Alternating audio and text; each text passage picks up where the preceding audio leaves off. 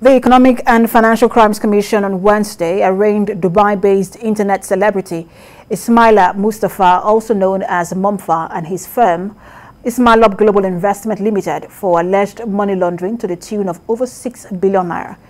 His bail application will be heard next Tuesday.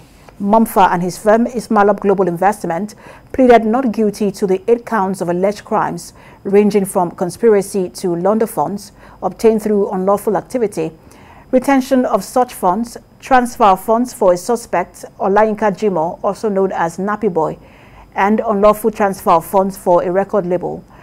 The EFCC also alleged that Mompha concealed his interest in expensive wristwatches and an iPhone valued at over 70 million naira.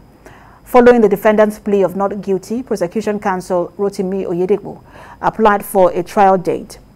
But Mompha's counsel informed the court that he had filed a bail application which had been served on the prosecution. After hearing the submissions of counsel, Justice Dada ordered that Mompha be remanded in EFCC custody pending the hearing and ruling on his bail application fixed for January the 18th, 2022.